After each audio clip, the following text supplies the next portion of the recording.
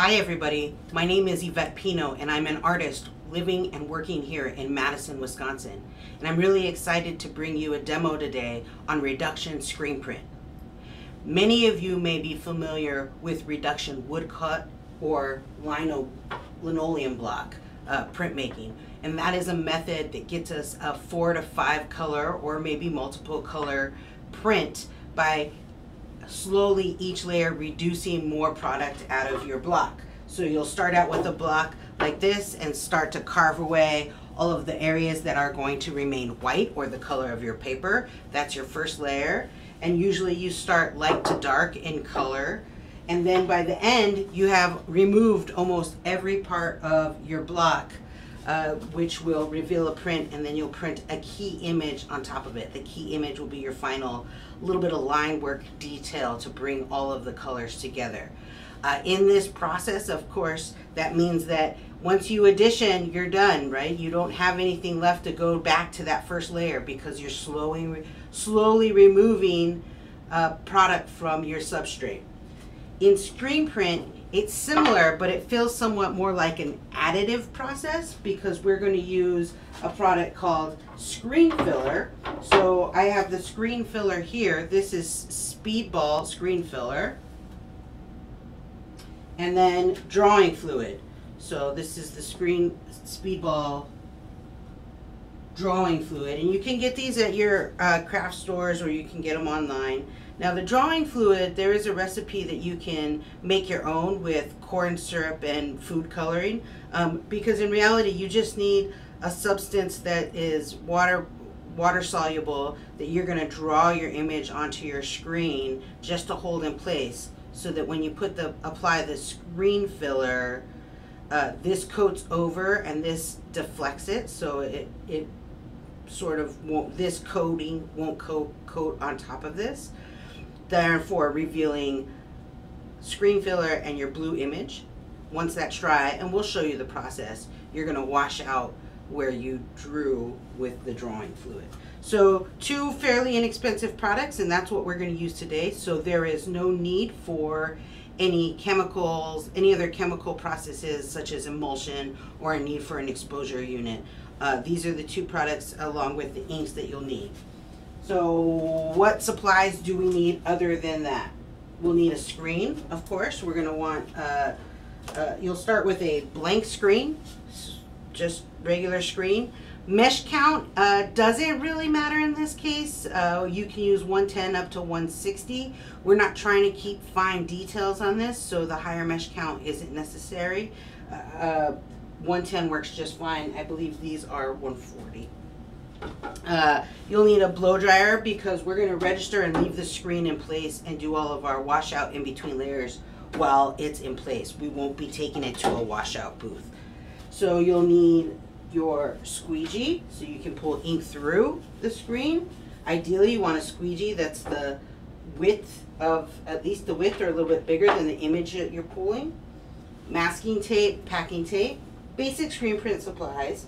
I also keep some Q-tips because we're going to have paintbrushes. I don't need this many, but for the sake of uh, example, paintbrushes to draw your image in with the drawing fluid. And then as we go through each layer and add screen filler, you'll need uh, your brushes. And these Q-tips come in handy too as a way to uh, pull out some of the areas that maybe you didn't mean to paint in or to use as your paintbrush medium as well. I also have some prepared images that I'm working from. You can also just draw from, uh, do a draw, straight drawing exercise. You don't have to use photographic base. I chose a really simple image, uh, which I'll put on the screen here uh, because I liked the color and the stance. Uh, for those of you that don't know me, I run the Veteran Print Project and I pair veterans with artists together to exchange a dialogue and then the printmakers make an edition of prints based off of the veteran story. So this photograph is from the Roy Zarin collection at the Wisconsin Veterans Museum. He's a Korean War veteran who has beautiful photography within our collection. Um, this uh, is masking tape, so you'll need some masking tape and you'll need uh, packing tape or some sort of tape to put on your screen to help prevent any of the ink from going along the outside. I have my table set up here with hinge clamps And it is not a vacuum table, it's just a basic table I got at a surplus store. Hinge clamps are screwed to the end, and then I keep rags and paper towels handy.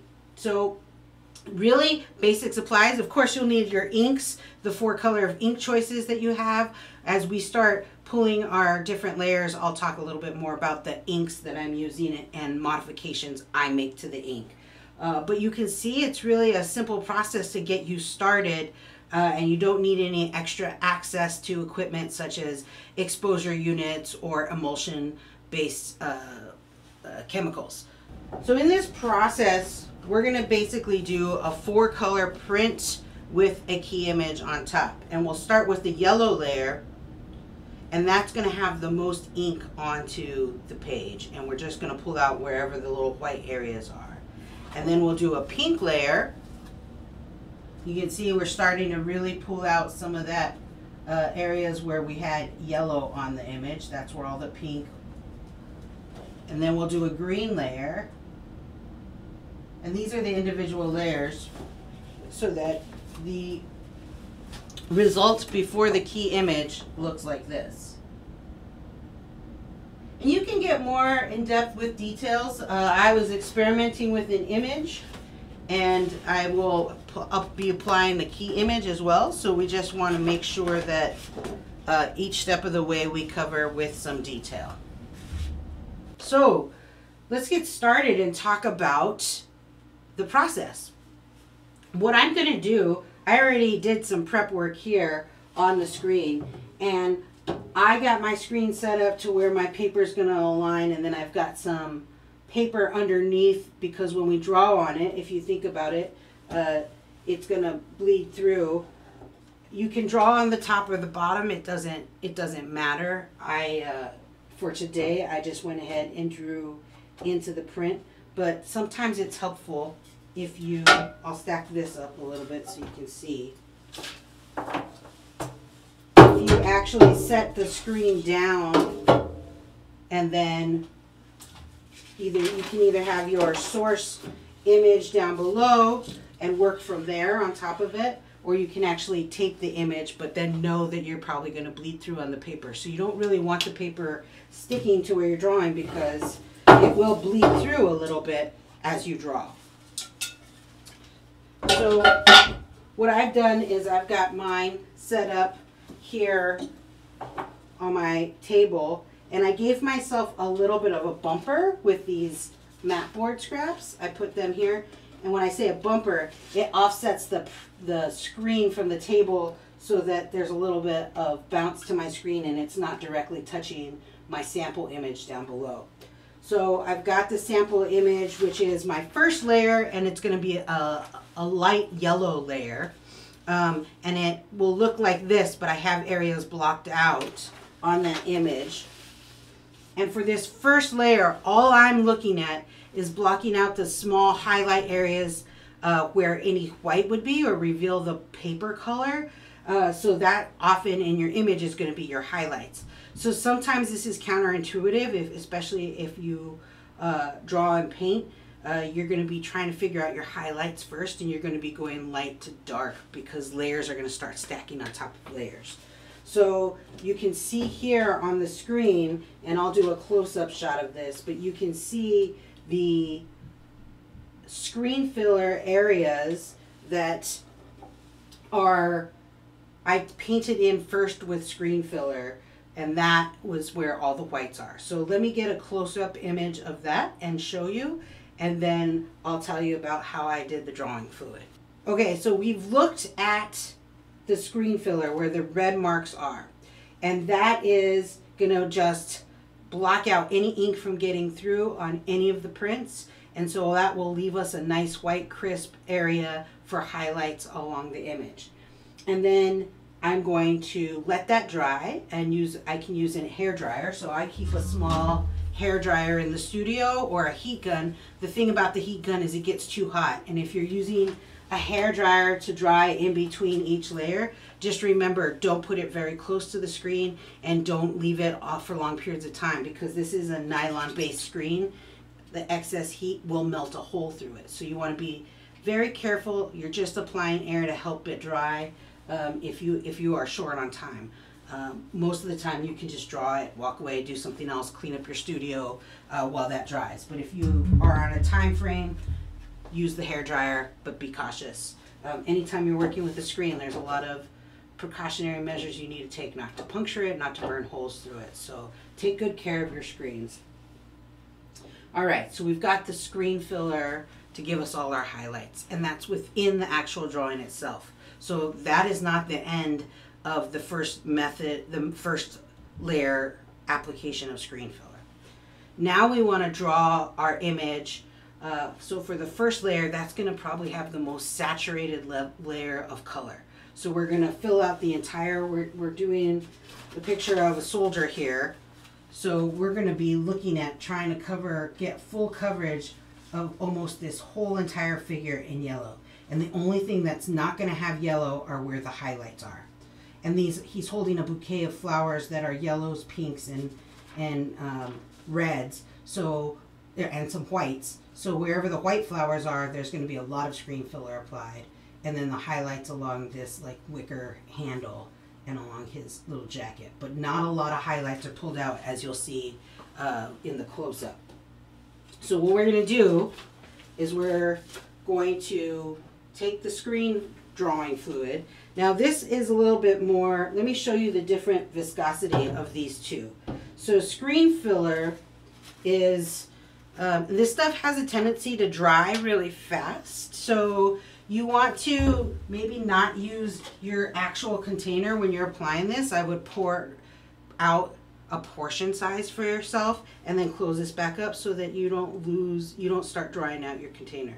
So I'll pour out a little bit here so you can see the viscosity of this. So you can see, let's see if you can see here just how viscous this is. You can see it how it actually starts to drip down. It's probably the the viscosity is loose like real thin thinned out house paint or really loose acrylic paint. Um, so you want to make sure that you you take care not to like overuse that because it gets really drippy and, and when you're applying little details you want to be just like you would with ink or paint use the right brush to get the right consistency of line on your uh, where you're blocking things out and this will dry on the screen and it'll hold up pretty well uh, for a, small addition uh, this is screen filler I'm sorry this is drawing fluid and I won't be able to pour it out because if you look in, it's more gelatinous. It's uh, it's like a really thick jelly, uh, and you can water it down a little bit, but um, it's really just used to fill in uh, your drawing to hold place when we put the drawing fluid over it. Uh, and you want to apply it lightly. You don't, you don't need to goop it up on your screen and make the, the layer really thick. But it is a very viscous, jelly-like substance. Um, that's why corn syrup works fairly well too.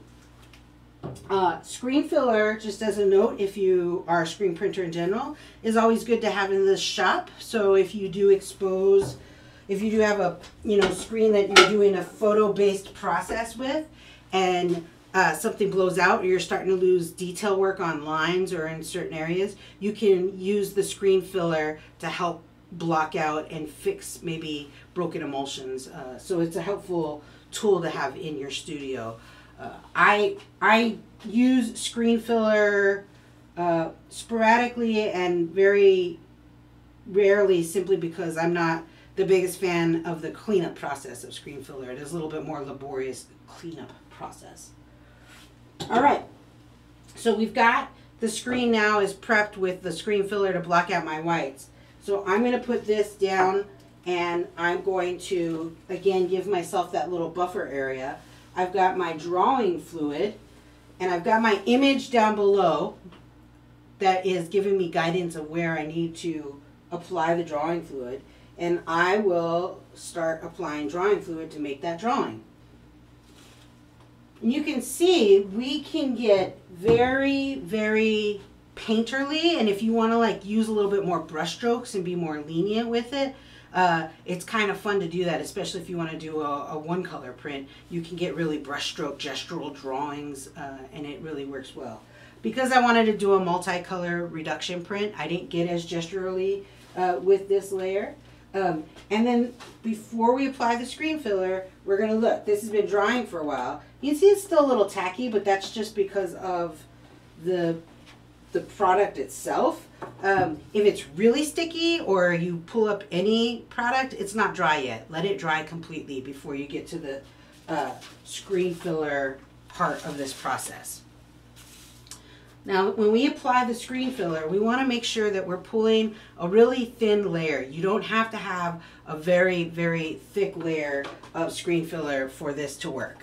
Um, in fact, I actually would recommend it just keeps it skim because it can really uh, take out, it can really cover up your drawing fluid and mess up the whole process if you're a little too um, liberal with this. So I'm going to pour me just a little bit a screen filler across here.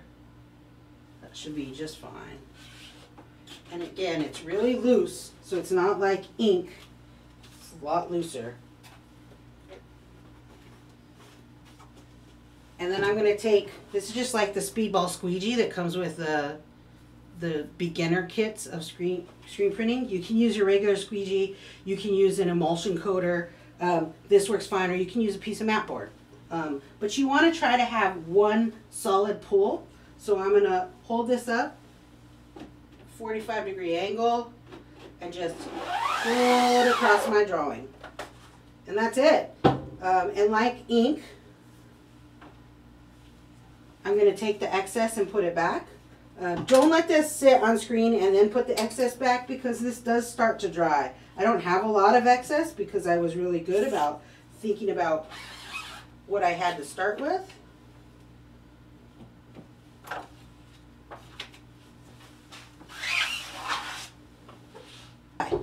And you can really see now where the blue and the red, that's the difference between the drawing fluid and the screen filler. So we can take our blow dryer and add a little bit of air to this. So I'm going to put it on low. Add some air.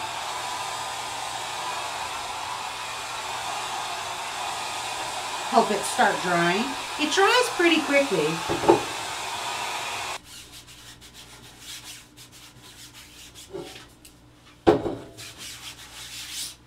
Okay, so we have let it dry for a while. We use the blow dryer.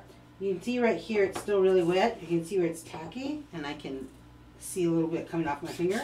But the way it tells, you can always just sort of feel around, and when as long as it's not tacky, you're fine. When I say tacky, I mean sticky. So I just do a quick, you know, run my hand over it. I'm going to just apply a little bit more air down there, and then we should be good to go.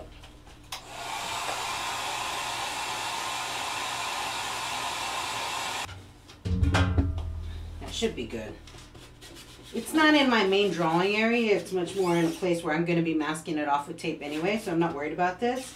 Uh, the other way you can tell that it's dry is it does change color. It is a little bit lighter. It's darker when darker when wet and lighter when dry. So I think we should be fine here. So all we're going to do now is take our uh, a wet sponge. You can do this in a washout sink too, but I mean, really this is just as easy. I'm going to take a, you know, damp sponge. So I've got a bucket of water and a sponge here. And then you're just going to start wiping away that screen filler. Doesn't take a lot of effort. Warm water helps a little bit, but it's not necessary. So I'm going to rinse this out a little bit. You need excess water. So you see it starting to really come out. And where I painted the screen filler, you can see it's leaving, it's staying behind. And that's what it's supposed to do.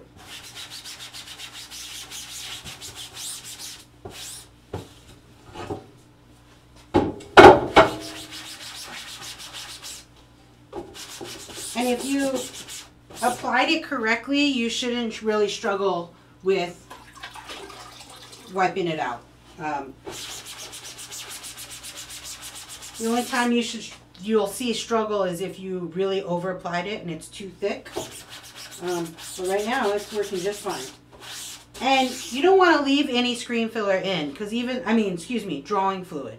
Uh, you don't want to see any of that blue left. And that's because it may appear like it's, that it'll function like the screen filler, but it won't. Once you, if you leave any drawing fluid uh, in your screen, when you start pulling ink through, it's water-based ink, and just like water pulls that drawing fluid out, so does the ink. So you can't use drawing filler as your screen filler. They don't, they're not interchangeable. So I think we're good. You can see here, I'll go a little bit closer. So wherever the red is, is where the, the ink will be blocked out.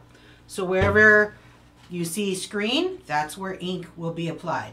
Of course, we're going to mask out the outer areas, but I'm talking about in here. If you see uh, the color of your screen, that's where our first layer of yellow ink is going to um, printed on the paper. So we're to let this dry. We can take the blow dryer again and blow dry it. I'm actually going to let it dry naturally. I'll pause the video and then I'm going to get prepped up so we can go to the next phase, which is applying our first color.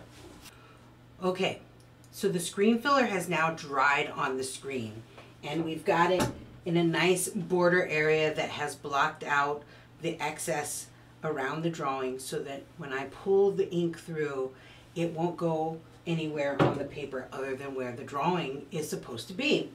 So we're going to start with our first uh, color and I created a yellow for our first color and it's a yellow, it's got yellow, white, a little bit of transparent base in there. And as we start pulling the different layers, I will be adding a little transparent base to each color so that it will allow some of the elements of the color that's below to come through and create uh, another color in where they overlay. So there will be some parts that will be just the yellow and then we'll block that out and then when we add the next layer that yellow will be able to still be revealed because we'll block out and then the pink will allow a little bit of yellow to mix with the pink and then there'll be areas where it's just pink revealed so on and so forth. So it'll make more sense as we start pulling the colors through. So the way I register, uh, there are different processes. I have registration um, rings and clips, uh, which for the sake of time today, I'm just going to do a basic registration, which is uh, printing on this mylar acetate, then putting my paper underneath to make sure that it's aligned with the image, and then I'll tape off the corners of the paper so I can put each paper in the registered marks uh, for each print. So let's move forward and add some ink. So we're gonna get ink into the screen and flood it first. So add a little ink to the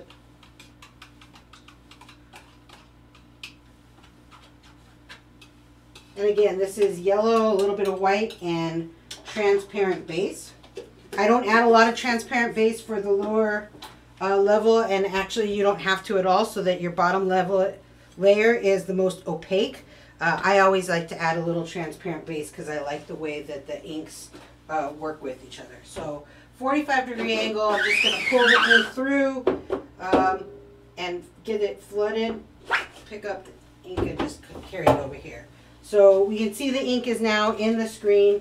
I'm going to put this directly down, excuse me, onto my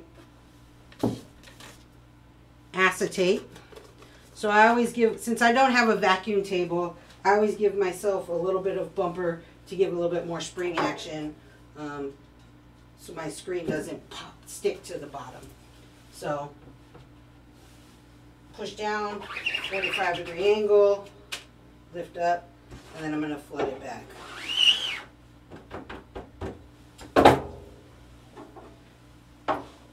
So the image is now on this piece of acetate. You can wait for it to dry. Uh, to expedite the process, I'll always just use a piece of newsprint.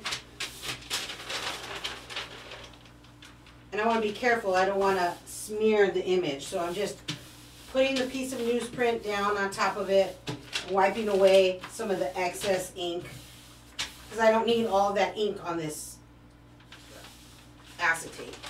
So pull it away, discard that. So I'll lift this up. You can now see it is on this piece of Mylar. Well, it is down here. I will get my piece of paper that we'll be using. These are all 13 by 19. This is French paper. It's a 100 pound, 60 to 100 pound. It's good for screen printing, especially if you're uh, using multiple colors. And then I want this to be a little bit higher up.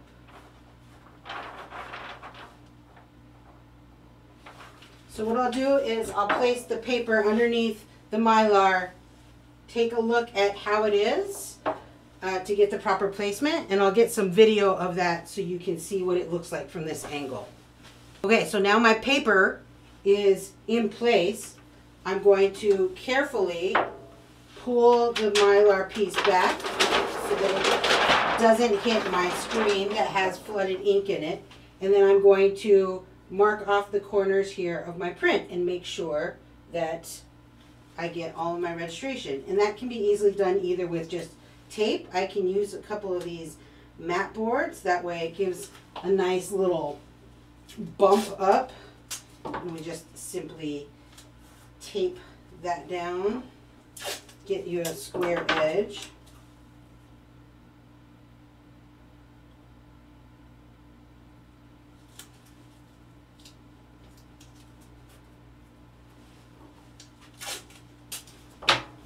And then we'll do it.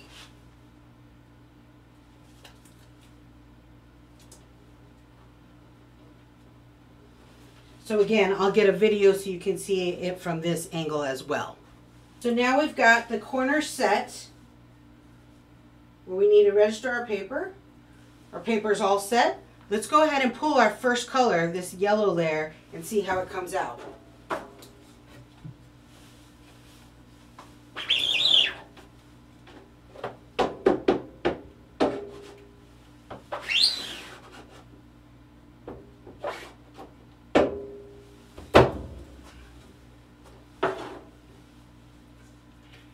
So it looks good. You can see here. So wherever I put the screen filler, that's where the white of the paper is revealed and everywhere else is yellow. And as we start adding our colors, you'll really start to see the detail of the image pull through. So I'm going to do a small addition of 10 this round and then we'll go to the next step. I'll keep filming and do some editing, but we're going to do a small edition of 10.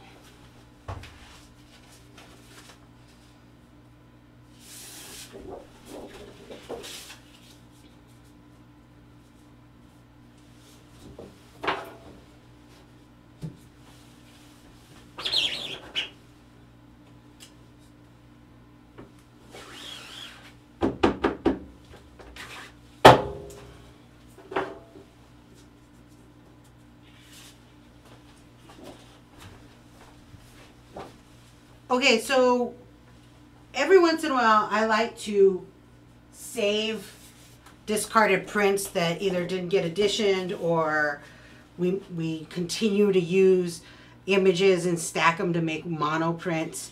Uh, so this is an example from a print I made for a different edition and it says you must hate on it and there's a story behind you must hate uh, which I can tell in a little bit but we're going to use this image now and I've brought the Mylar piece back so that I can position the print where I want it and the flowers are going to fall just on top of the hate.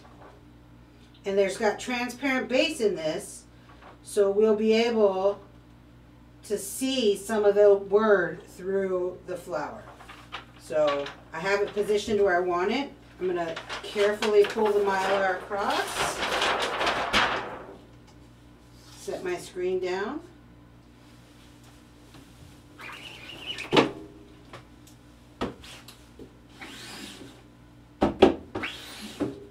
Flood my screen. And what you can see now is as we start to build this image, the flowers sit right above the hate and we can do the entire edition and then write the words love on top of hate. So we'll play with a couple of these prints that I have, we can multi-purpose. So I have that same thing again, but on the mint paper. So we'll pull this across. That's why I always tell printmakers one of the most important, valuable lessons I learned when I was learning how to make prints is not to throw anything away because you never know what kind of monoprint you can get out of discarded prints.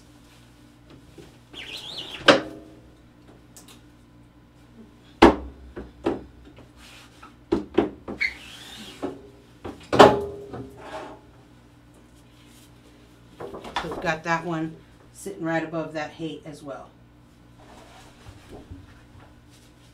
I also have this paper that's made from combat paper.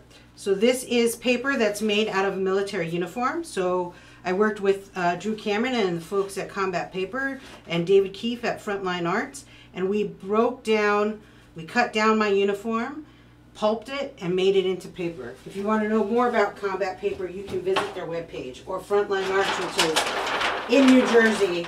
They work a lot uh, with military uniforms into paper.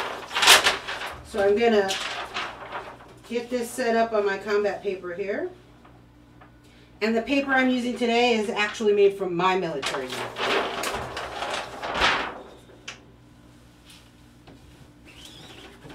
So, hand more, let me flood and then I'll.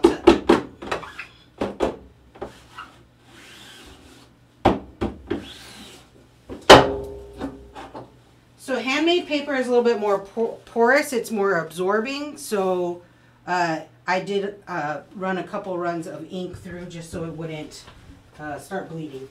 For registration purposes, we're going to leave the screen in place and wash out the excess ink using that same sponge that we did to pull out the drawing fluid. And that way, all of our registration are still in place and we'll be able to just go and add more screen filler in for our next layer. So I took a lot of the excess ink off the screen already. So we're really just uh, taking it off with a sponge. We don't want, obviously, the ink to dry in our screen. Oops.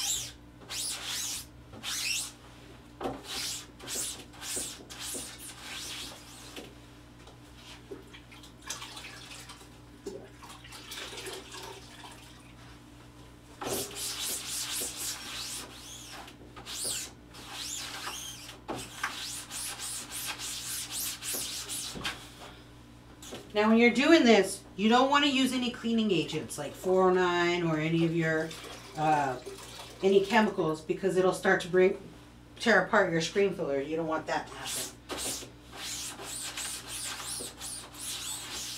So really what you're looking for is the most important thing is don't, uh,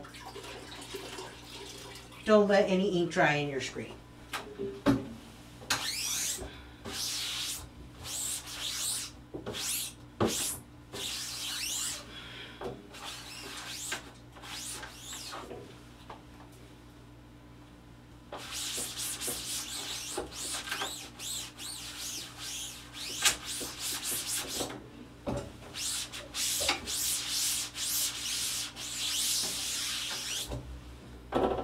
And again, you can take your blow dryer and help the process along. So we washed out the screen and now we want to apply additional screen filler to reduce the amount of ink that will go through to get to our next layer so that we can cover up the areas that we want to be revealed as yellow, which were on the first layer. And now our second layer, we're going to print pink. Uh, and the pink that we're using is a mixture of red, white, and transparent base. Uh, and it comes out to uh, this pink color here. And we are, are going to draw into the screen with screen filler so that we can start blocking out areas that we don't want the ink to pass through. So let's start doing that. We'll grab our screen filler and a paintbrush. So we've got our paintbrush and we've got our screen filler and we can start that process now. We've applied the screen filler and now we have the image that we want to print for our layer two, which will be the pink layer. It's completely dry now. Everything is masked off and it's ready for us to now apply the ink, flood our screen. Now remember, since we didn't move the screen itself, our registration marks and our acetate will all remain the same. So we didn't need to print the pink layer. We don't need to print the pink layer onto the acetate. We'll still have a yellow layer for our proof verification, but we don't need to print another layer um, unless we absolutely want to, just to see curi curiously what it would come out to. Um, I'm not overly concerned about this image, uh, so I'm going to go ahead and start just applying the ink uh, to my prints.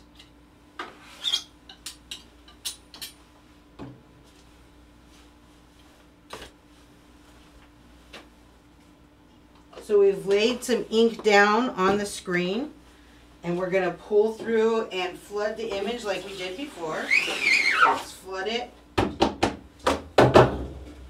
And then before I go on to my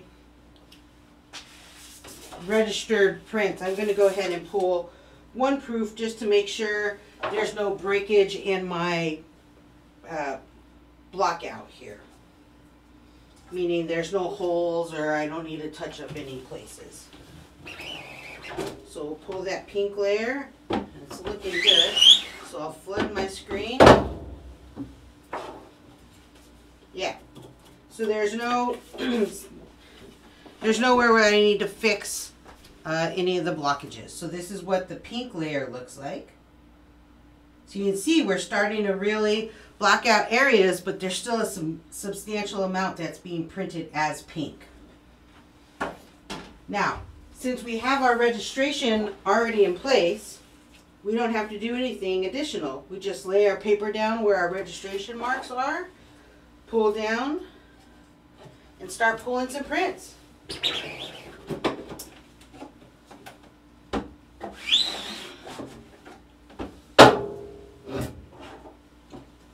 So now that we've applied the pink on top of the yellow, you can start to see where that image is starting to have some progress. And the transparent base will kick in as well. So after it dries, I'll show the result uh, from the dried print so you can start to see where uh, it penetrates through that yellow.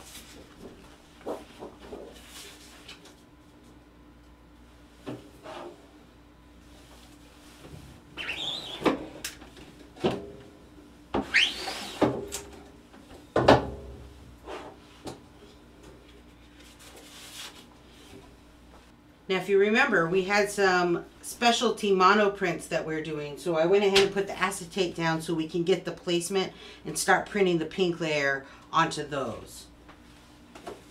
So here's one of the You Must Hate, which we're going to turn into You Must Love.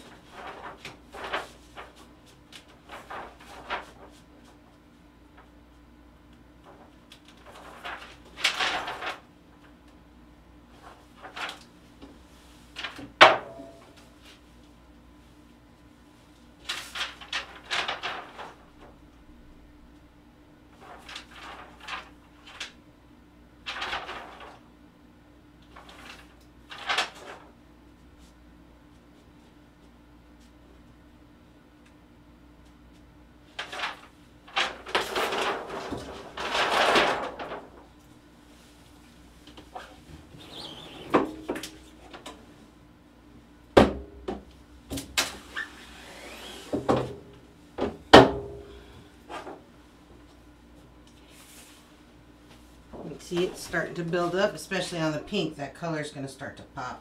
We've now applied the screen filler for the third layer of this print, which means we added in more screen filler so that we would reduce the amount of ink that goes through onto the third layer. So what we can see is that we have pretty substantial coverage on our drawing now, and that's going to give us one final good solid run of color, and then we'll print a key image, which will be a limited line work to detail in and complete the picture. For the this run, I'm going to use a green greenish base and it also has transparent base in it because I really want to try to get some of that pink to come through. Although I had transparent base in the other image in the other colors, uh, it didn't really give the transparency that I had hoped for, which was a little bit more detail uh, work to merge together so you see more than just two colors on that area. But this is all uh, experimentation for me at this point. The more you do this and the more you practice, the more you get a sense for how much transparency you need to add to your inks. That's why it's really good to practice these techniques, but it's also good to keep thorough notes so that you know I need to add more transparent base the next time I do this. And I'm doing a very limited run this go round too because this is for demo purposes. So I'm going to add the uh, ink to the screen now. And again, you want to make sure that your screen filler is dry. Uh, I ran, ran over this with a little bit of a blow dryer, so seemed pretty good to go for me. Again, you don't want any tackiness, and you want to check the front and the back um, prior to doing this. So we'll pull out our source drawing there. What we did with the screen filler is we used this source drawing uh, to put underneath, but also it has lines where I wanted to remove uh, where we were going to print. So I'm going to flood my screen. And again, we just pull it through, get my excess ink, put it up here.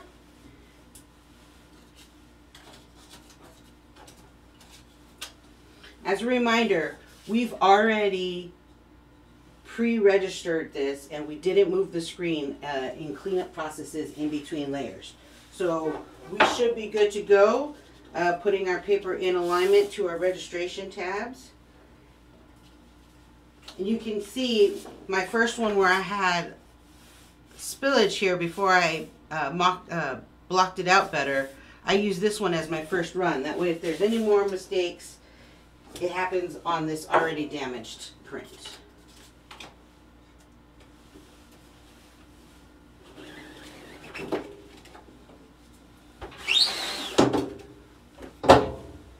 Doing the first print like this also helps you take a look, see if there's more places you need to remove ink out of. Uh, you can see it's really starting to develop some detail work on there. And in all honesty, I think I pulled too much out on this pink area here and I would have preferred more green being printed on that side of the figure. We can fix that with a key image. So let's go ahead and print our edition.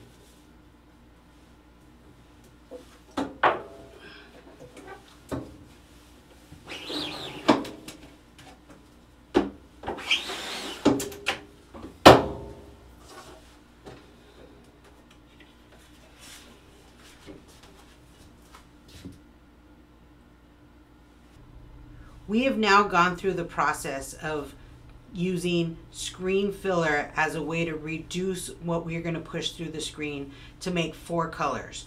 We used the yellow screen first and in that we used screen filler to block out where the white areas were going to be and then the overall silhouette of the image was then uh, printed in yellow.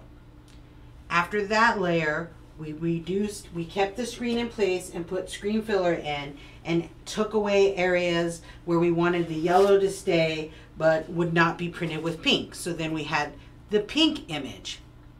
We did the process all over again, adding more screen filler to reduce more uh, of what we were going to take out of this image to where we got a green image.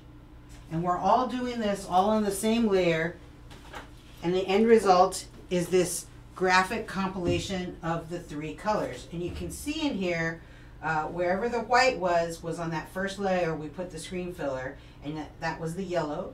And then we started to remove some of the yellow and uh, by putting screen filler. Wherever we put screen filler on the second layer, the yellow is revealed and the pink did not print over it. Then in the third layer, we painted wherever the pink is revealed, the green would not show through. So now we've got the green.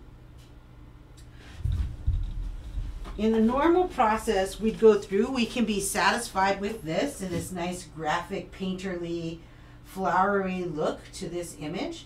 We could call this done and add words to it or add more to this print. Uh, or we could just sign it and say this is a fun, whimsical, painterly type of print. We could also spend a little bit of time and dedicate uh, a new screen to creating what's called a key image, which is an outline, um, a little bit, you don't want a black outline unless you're looking at like a cartoon version, um, but it adds the details to put on top of this to bring all of these colors together.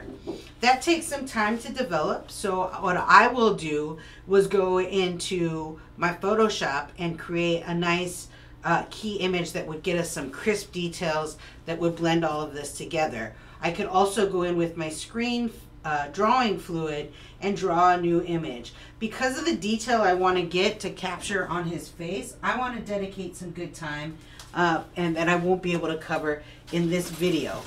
But if you want to learn more about creating the key image, we can produce a video for you to watch at a later time.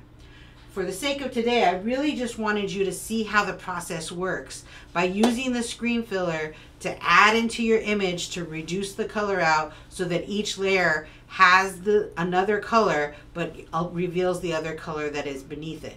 And again, like I said, if you play with transparent bases, you can even start to see a buildup of where the transparent base will allow some of that other ink to come through and you start to see this sort of textural feel. This, along with some of the other techniques I teach, is very experimental in that it leaves you room to play around with your color theory play around with your transparency additive to see other colors pop through. Um, and it really helps you if you want to break down and do a mock-up maybe for a relief reduction you can start to see how the colors work together before you carve your block. This is a really great experiment if you have time and access to a studio to start developing these layers before you actually carve away on a block, which is a very laborious process. This is a little bit easier. You're painting brushstrokes with screen filler. Cleanup for this, um, one of the reasons I don't do this process very often myself is because I'm not a fan of the cleanup of this, but I do know you want to follow the instructions for the speedball. I believe they have a screen filler remover. Uh, that is a chemical that you can purchase to actually help in the process of doing this. If you don't have access to purchasing that, uh, the way I was taught in our studio was to apply good uh, uh 409 or Windex uh, and spray it, coat it, layer it with paper towels, and leave it soaking with those moist paper towels with the 409 or the Windex. Not together, either 409 or Windex. And let it sit for a while, let it really penetrate that, that screen filler, and then with a nice green pad, scrub away.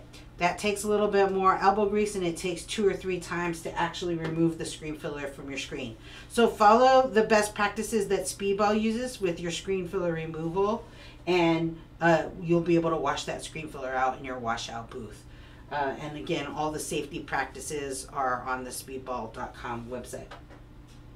Uh, for today, I just wanted to introduce you to thinking about how you can make this reductive process in screen printing to get a very painterly feel. If you want to see an artist whose practice is doing this extraordinarily, please visit Tyanna Buie's website. I'll put the link up on the screen. But Tyanna Buie is a Milwaukee based artist who is doing phenomenal large scale prints using this exact technique.